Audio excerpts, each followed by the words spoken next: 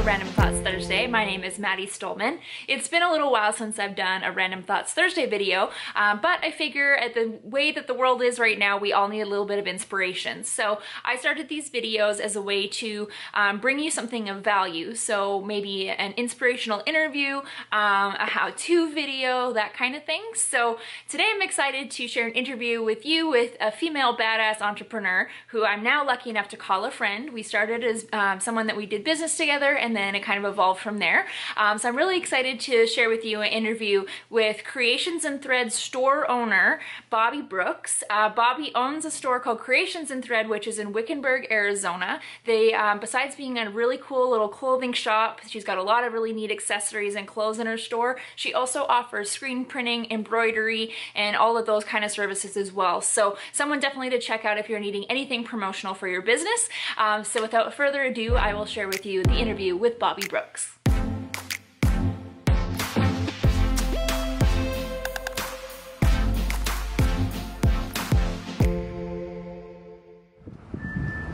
All right, I'm here with Bobbi Brooks, the owner of Creations in Thread, which is a shop here in Wickenburg, Arizona. Uh, Bobbi, can you tell me how long you've owned the shop? I have owned the shop for 20 years. Um, I bought it from an older couple that was wanting to retire, and it was just a tiny little shop in downtown Wickenburg. And we've just kind of grown from there. Okay, so tell me a little bit about what you offer at Creations in Thread. We do um, full service embroidery, screen printing, direct to garment printing, signs, stickers, banners, patches, and we do a little bit of logo design. Pretty much, you can create a whole line for your business or your boutique, and we have a lot of fun helping you design your stuff. Definitely. And did you always offer all of these things, or has it grown over the years? No, it actually started as a one head embroidery machine, tiny little business, and um, people came in the door and said, "Oh, do you do this?" And I said, "Yes."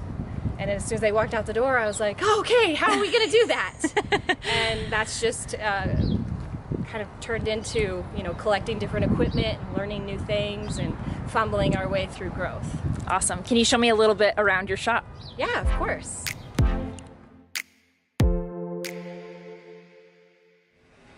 All right, so we're in the front of the store. What do we see when we first walk in? When you first walk in, um, this is our retail boutique. We're right downtown Wickenburg, so we decided we might as well take advantage and have our own line of clothing. So most of the stuff up front is custom printed in-house, and then we kind of add some jewelry and purses and fun stuff to it. Lots of cute stuff. It hurts my pocketbook whenever I come in to pick up stuff. it's hard not to take a lot of it home too. My closet is insane. I can imagine.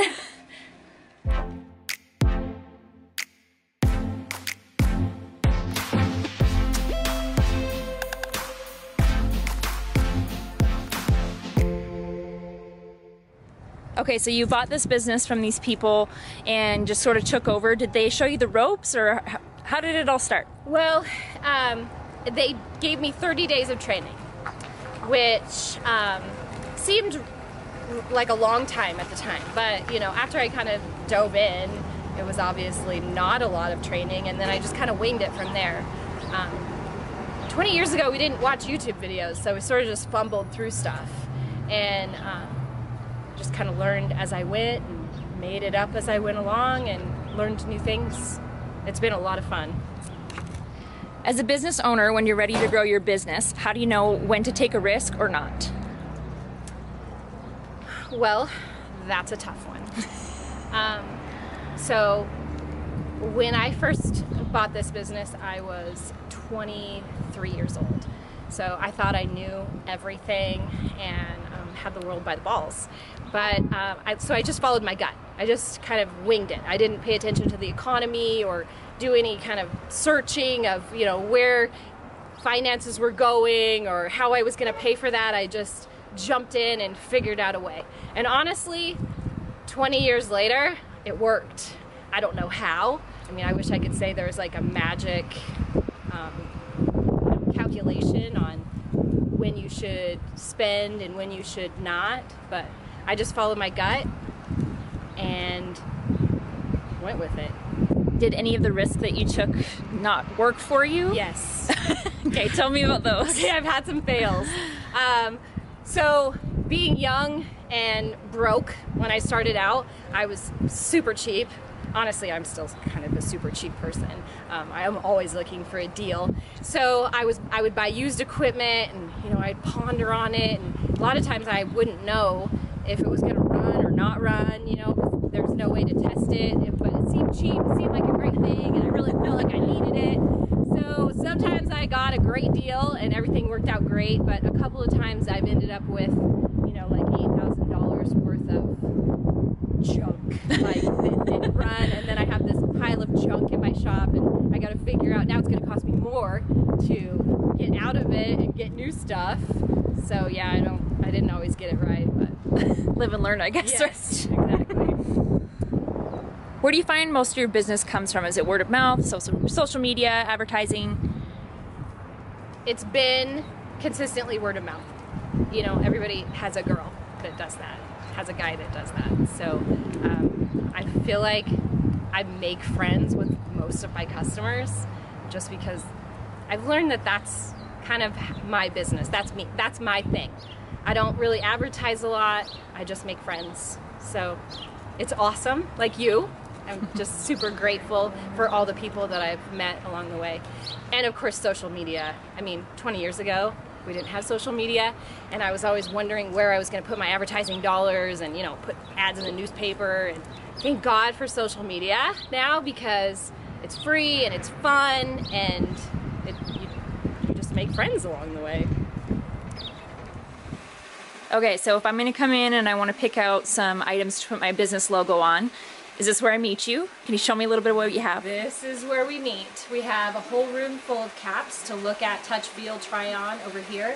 And then we have jackets, vests, t-shirts, sweatshirts, anything you want. Um, and then we also have some samples laying around.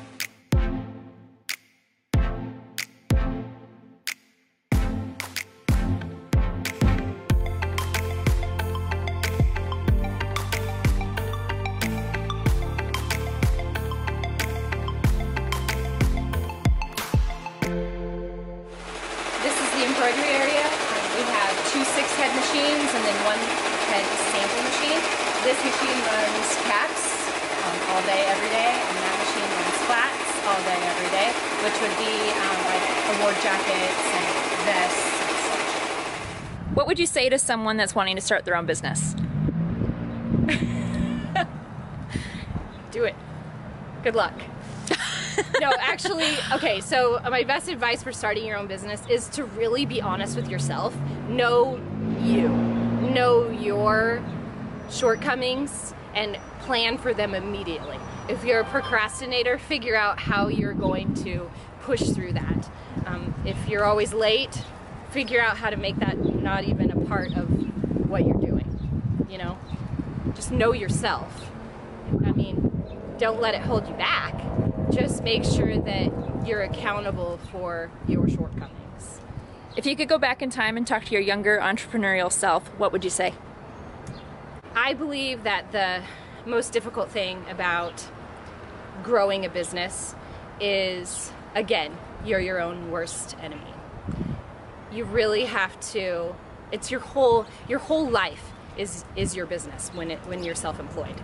So this is strange advice, but eat your vegetables, work out, wear sunscreen, and don't waste time on things that don't attribute to the goodness of your life.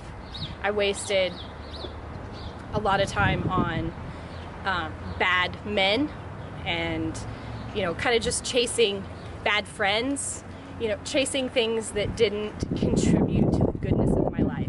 When you are taking care of yourself, your business and your children and your relationships and your horses, everything falls into place.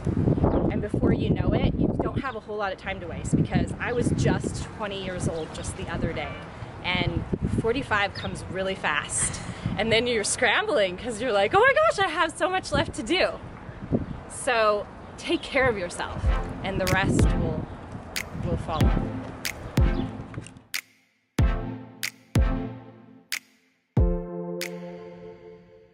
Okay, this is the screen printing room. This is the press. This is an eight color press, so we can do eight colors um, per design. Each color is a different screen. And it swipes one color and the next color, next color. And then the big pizza oven looking thing is the dryer where it goes through and the ink cures. If someone wants to do business or get in contact with you, where can they do that? So we are right downtown Wickenburg, Arizona, which is a great place to visit. If you're around, come visit us. Come see this, the shop and we'll give you a tour. Um, also, you can email me, Bobbi at creationsinthread.com. You can visit the Facebook page or the Instagram, which is Creations in Thread AZ. Perfect, and I'll make sure to link those in the description of the video as well. Well, thanks for your time, Bobbi. I hope that everybody gets to learn something about your business and a little bit about being an entrepreneur. So I appreciate your time and thank you so much. Thank you. Well, thanks for watching, you guys. I hope you found some inspiration in the interview with Bobbi today, especially if you are an entrepreneur, maybe a female or male entrepreneur, um, looking for a little bit of inspiration, wanting to kickstart your business or start a business of your own. Um, I hope that you can find a little bit of motivation and learned a little bit about business ownership from Bobbi. So if you guys are enjoying these videos, please subscribe to my channel, share, um, tell your friends about it, and make sure you go check out Creations in Thread. There's going to be a link in the description of this video to their um, socials, so you can go and follow them there. If you're needing any business or promotional stuff uh, for your company, go ahead and use Creations in Thread for all of that, all right? So thank you so much, you guys. Enjoy the rest of your day.